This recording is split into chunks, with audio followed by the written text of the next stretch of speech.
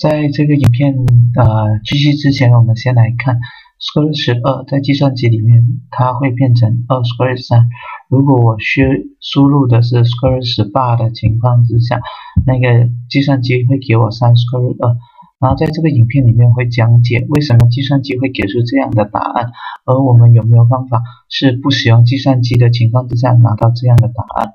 首先，我们的十二，我用 long division，就是说我除二得到六，再除二得到三，除三得到一，从中我知道二十二会是等于二 square 乘三。然后这个二 square 乘三，我除了用这样的一种方式之外，我可以用我的计算机按十二，然后等于，然后我再按 shift。P f a c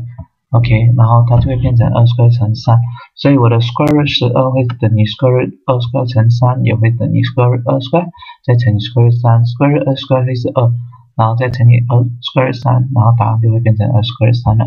然后同样的道理，我的十八除以二，我得到九，九除三，三，三除三，一，所以十八会是等于二乘三 square，然后我也可以用我的计算机来确认答案，十八等于，然后我再按 shift p f a c 然后它就会变成二乘三 square，所以我的 square 二十八会变成 square 二乘三 square，也等于 square 二乘 square 三 square，等于 square 二乘三，然后它答案就会变成三 square 二了。